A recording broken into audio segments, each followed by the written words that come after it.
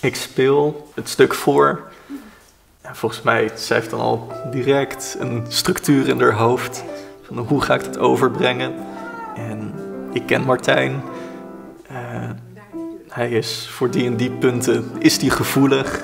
Dus nou, dat ga ik op die manier ga ik dat vertellen.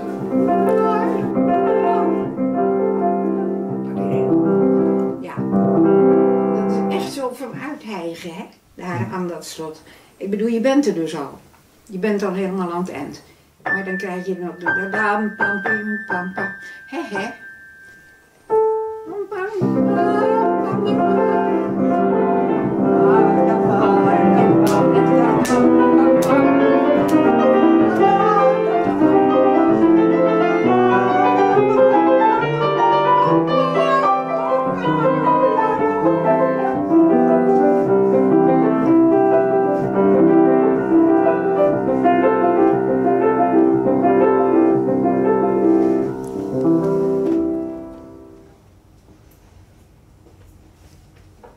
Instrument kende ik natuurlijk al langer, maar op mijn elfde pas dacht ik, ja, ik wil concertpianist worden. Het is een mysterie inderdaad waarom ik voor de piano heb gekozen. Het was een gevoel wat er ineens was.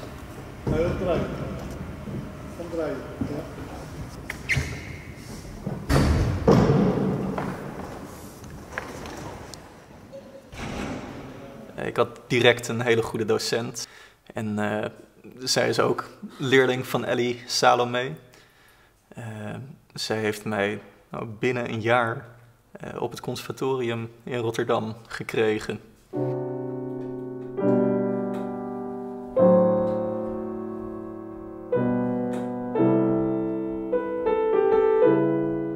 Ik kwam dus Marco de Vries tegen in 2005. En ehm, ik ben dus met Marco getrouwd. En een van de eerste mensen waar hij mij introduceerde was Ellie. Eh, Marco heeft ook les gehad bij eh, Ellie een hele tijd. En eh, hij wist natuurlijk dat ik piano had gestudeerd. Dus zo ben ik bij Ellie gekomen. En toen, toen kwamen ze. En toen had Katie al een, al een boek van Brahms onder de arm. Want eh, ja, ze kwam gelijk voorspelen. Maar toen was ze natuurlijk helemaal niet in conditie. Want ze was met haar, met haar hoofd bij die relatie uiteraard.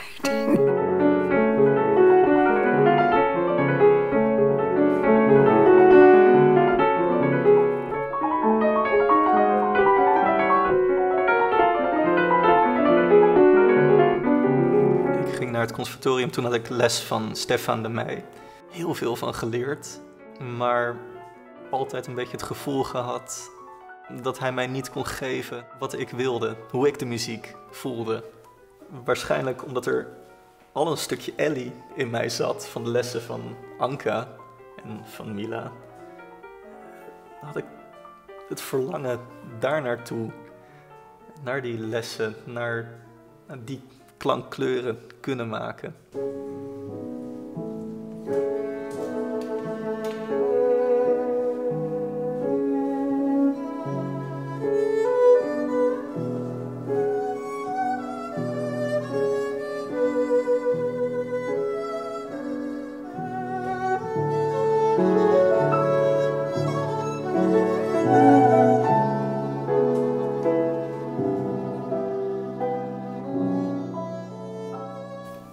Helemaal geen, geen direct aanwijsbare oorzaak. Het, het was er. Ik, ik, ik ben, ben geboren met die, met die gedachte. En die, heeft gewoon. eh, ik heb het altijd geweten.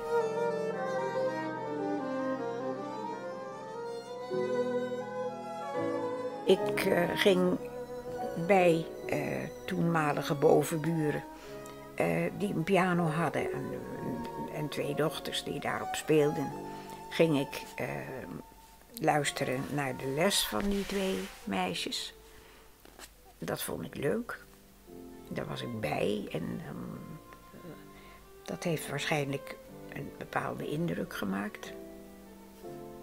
En toen kreeg ik, toen ik tien was, een piano. En daar was ik onvoorstelbaar blij mee.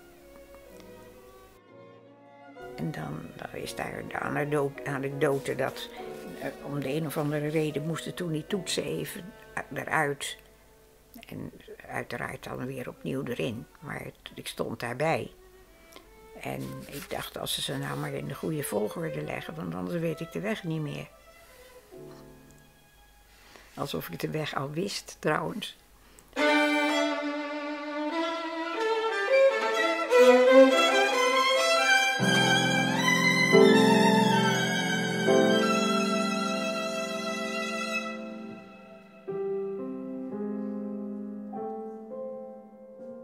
Als je echt talent hebt, of je nou uit een muziekgezin komt of niet, dan, dan vind je die weg.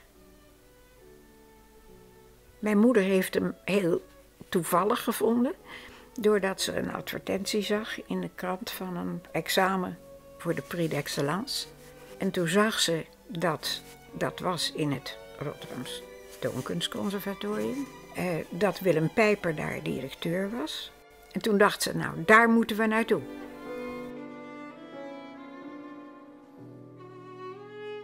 Toen zijn we betrekkelijk gauw daarna zijn we daar gegaan om te kijken hoe, dat was. En toen heb ik voorgespeeld voor Pijper. Nou, die wilde dus onmiddellijk aannemen. En had toen bedacht dat ik het beste bij Jaap Kallenbach kon studeren. En daar ben ik nog altijd dankbaar voor. Want het was een fantastische leraar.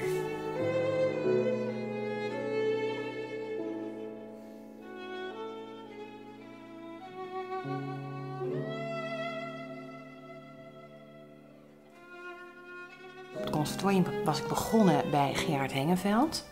En uh, een van de dingen die voor mij heel belangrijk zijn, bleek later, is dat Gerard Hengeveld de arm buiten beschouwing laat.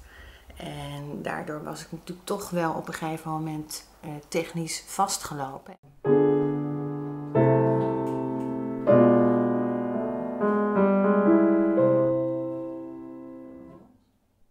En Ellie zegt, hè, hier begint, dit is de top en die loopt tot hier. Dus dit is je speelapparaat. En dat, dat deel je dan in, in die vier gewrichten die we hebben. En de hele arm en de elleboog en pols en vinger. En dan moet je precies weten wat je inzet om welke klank te krijgen. En dan weer.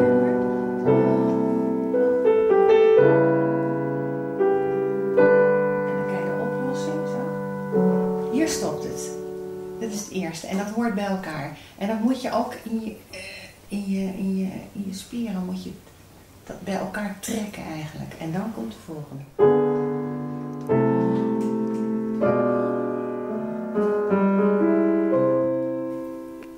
Het ongeluk bij Katie is geweest dat ze allerlei uh, potentie toonde. En dat men dan dacht van, nou ja, je gaat maar studeren en dan komt het wel. Nou, ze studeerden zich wezenloos, maar als je niet weet waar je mee bezig bent, als je niet weet hoe je je fysiek moet gebruiken, hè, als, als je, nou ja, eindeloos veel dingen niet gezegd wordt. Toen ik dus bij Ellie uh, kwam, um, toen heeft ze me ja, heeft ze heel veel ook met mij gepraat om dat begrip ook in mij wakker te maken wat er nou eigenlijk aan de hand is. Ze schrok er eigenlijk wel erg van hoe dat klonk en hoe vast alles zat bij mij.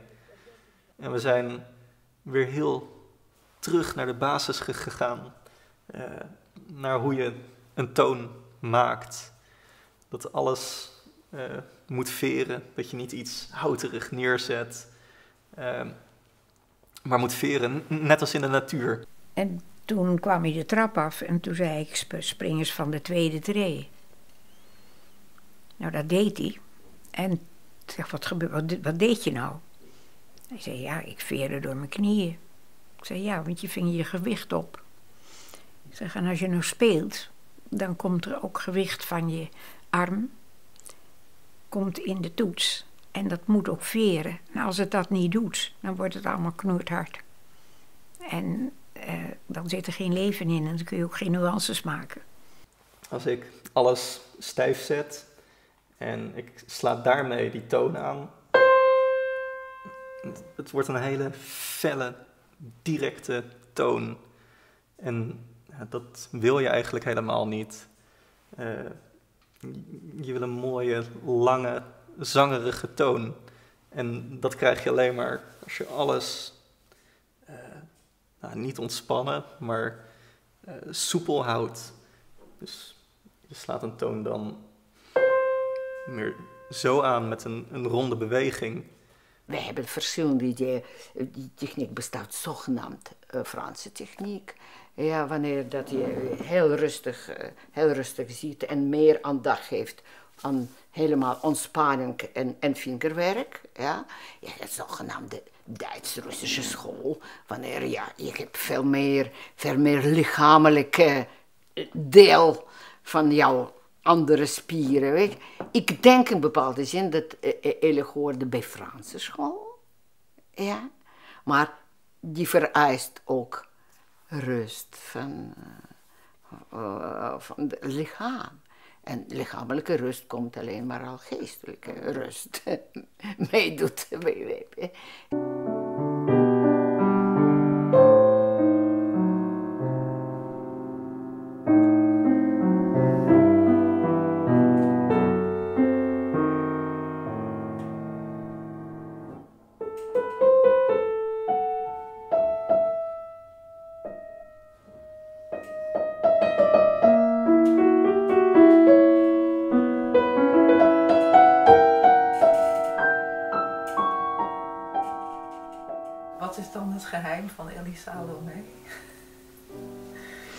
Ja. Hoe moet ik dat zeggen? Iemand leren hoe die met muziek en met zijn fysiek moet omgaan. En die twee moet combineren.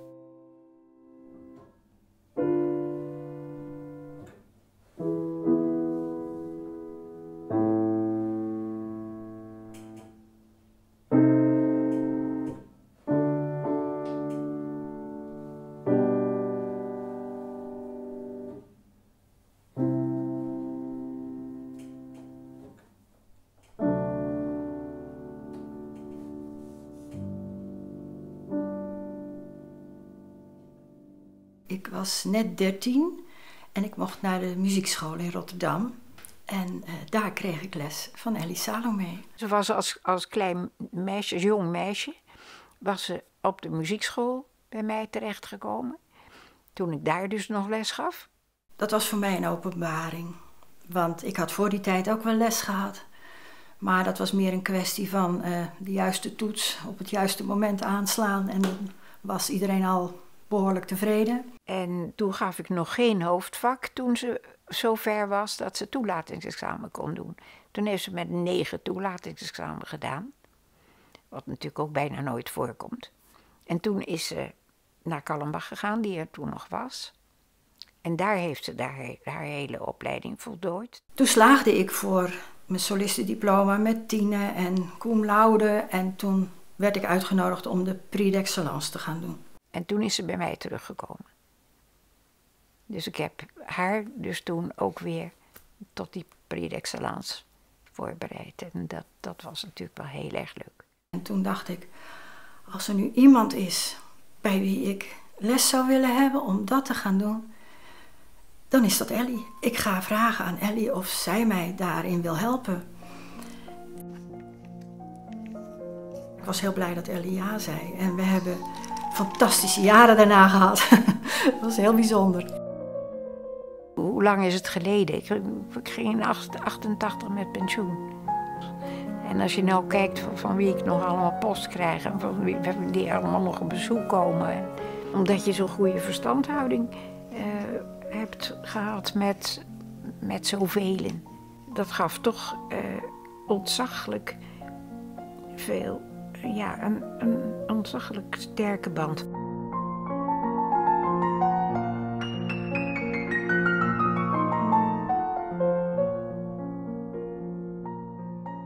Haar lokaal, klas waar ze pianoles gaf in Rotterdam, was eigenlijk een hele mooie huiskamer.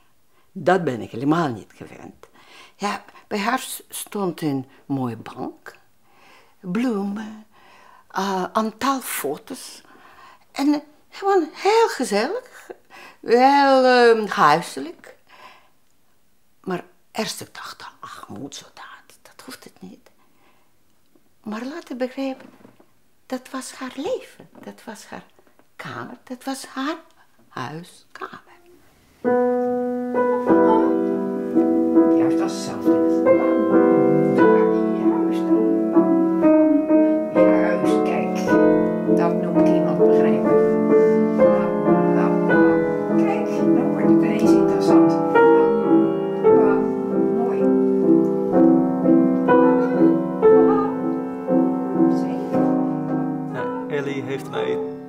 Leren luisteren naar een toon. Ik, weet zeker dat de pianolessen van Ellie Salome mij tot een goede pianotechnicus hebben gemaakt. En als ik nu in de doelen een vleugel moet voorbereiden voor een pianist, eh, dan weet ik wat de pianist wil. Ik, ik begrijp wat hij zegt. Eh, als hij een toon aanslaat van ja, als ik hem zo aansla, dan wil ik dat hij op een bepaalde manier klinkt. Dan ik zie dat gebaar en ik hoor daar een toon bij. En dat weet ik technisch te vertalen naar het instrument voor de pianist.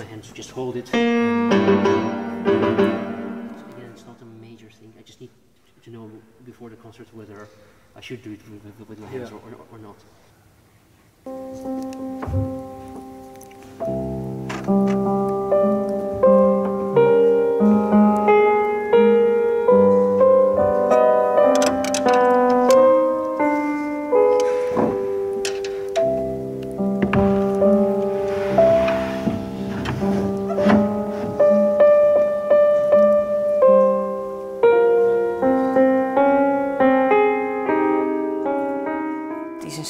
Totaliteit, hè? Je speelt toch zoals je bent.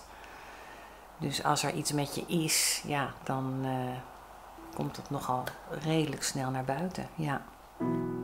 Als mensen één vinger op de toetsen zetten, dan weet ik al dat er wat is. Een tijdje terug al eh, had ik een vriendinnetje en dat voelde allemaal niet zo heel fijn. En daar heb ik heel veel met haar over gesproken. Vooral die jonge mensen die, die natuurlijk nog in een puberteit zitten. Die beleven heel wat. Dus als, als een conservatoriumleerling dan begon, dan, eh, dan niet dat ik dan zat dat peuteren om het eruit te krijgen, helemaal niet. Maar dan zei ik alleen, ben je niet zo in conditie. Ja, en dat laat je dan weer omhoog klimmen. Maar dat laat je ook weer in het pianospel groeien. En je hebt er zo ook weer een emotie bij om in je pianospel te kunnen laten horen. En ik zeg ook wel eens tegen Ellie, je had ook wel psychologie of psychiater kunnen zijn. Zij kan heel goed eh, mensen inschatten en ook raad geven op alle mogelijke menselijke vlakken. Ja. Op het moment dat jij zelf soms dacht van, ik ben er nog lang niet, dan had zij, gaf je het gevoel van, je bent er bijna. Dus nog even door en dan komt het wel goed.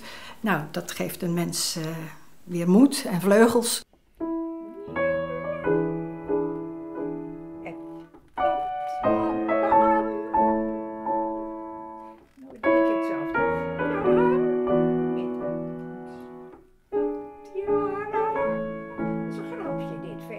Stuk.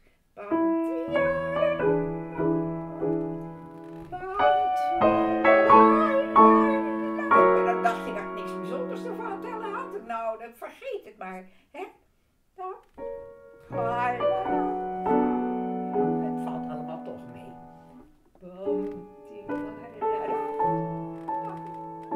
Er werd wel van je verwacht dat je eh, deed wat je opgedragen werd. Maar ja, ik voelde dat eh, als puur eigenbelang, zal ik maar zeggen, om weer verder te komen. En ik, ik heb me nooit voor kunnen stellen dat dat eh, iets negatiefs zou zijn. Ik ben zo gewend aan een hele strenge Russische school. En eh, enorme discipline in kindertijd. Ja, en je moet rond jouw achterde eigenlijk fantastisch presteren. En dat was voor mij echt, echt, echt onvoorstelbaar dat je kan zo slecht spelen weet je, tijdens de toelatingsexamen. En tegelijkertijd heb ik later een paar uitgestelde examens meegemaakt en leerlingen van Elen speelden. En het niveau was heel behoorlijk. En ik dacht, oh, dus je kan binnen vijf jaar, en moet je binnen die vijf jaar die niveau krijgen. Hoe moet je dan werken? Hoe intensief moet je werken om die niveau te krijgen? Dus dat was het, mijn eerste bewondering.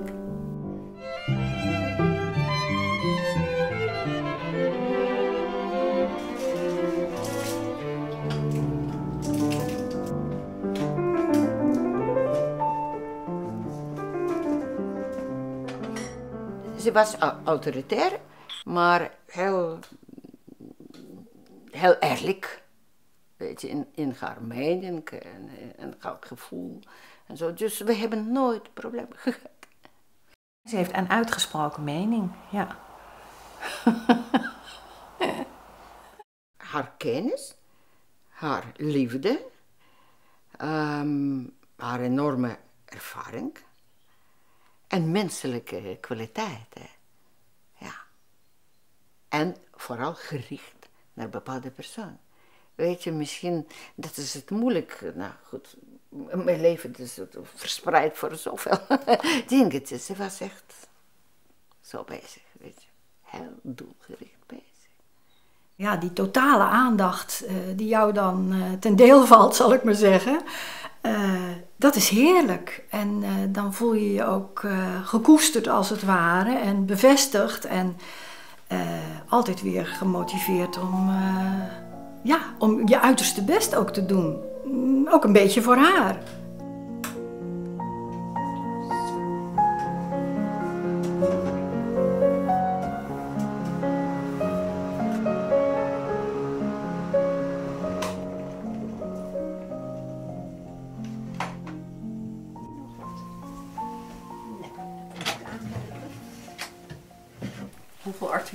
Geschreven, denkt u? ontelbaar. Omdat het ook zo in allerlei uh, periodieken kwam. Hè? Dat deed ik toen aanvankelijk voor het Parool en het Vrije Volk. Maar dat vond het Parool natuurlijk niet zo leuk.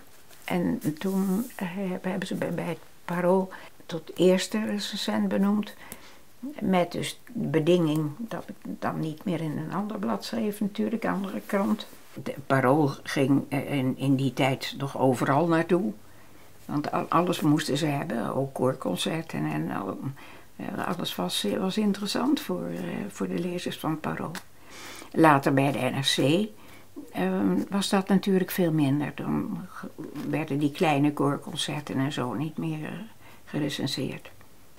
Voor de Kamermuziekvereniging heb ik toelichtingen geschreven allerlei inleidende verhalen voor zo'n seizoen.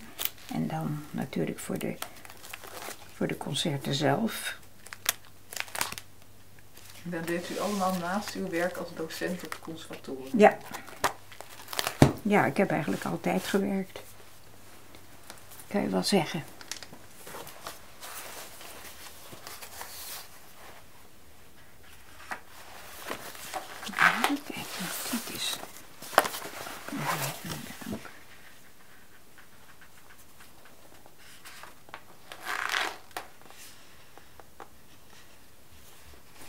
Meteen gaan doen toen Alex van Amerongen uh, overleed.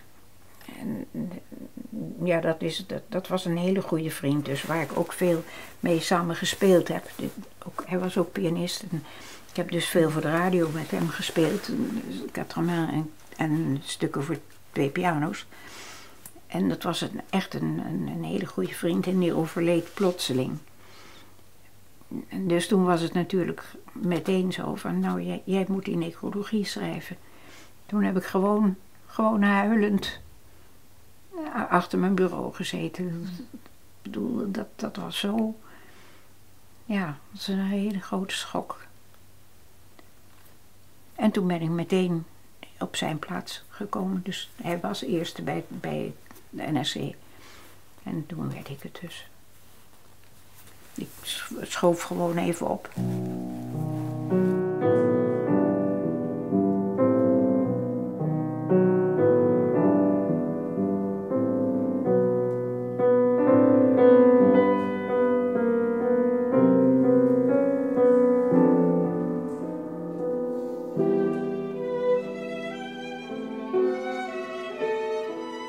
Ze is me heel dierbaar. Ze is me gewoon heel dierbaar. En ik ben er ook heel dankbaar voor alles wat ze me heeft geleerd. En ik bewonder haar ook dat ze nog, uh, nu ze toch al niet meer zo piep is, nog zo bezig is met de muziek.